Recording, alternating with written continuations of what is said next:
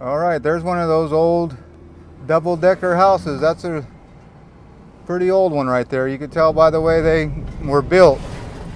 But there's a one-way street down here that I'm trying to find my way to. And then we'll end this video.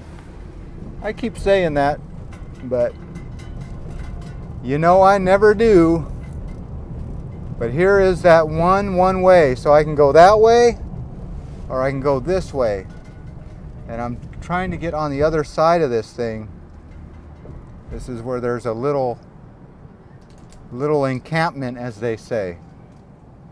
So let's uh, admire this graffiti and go see this last encampment, shall we?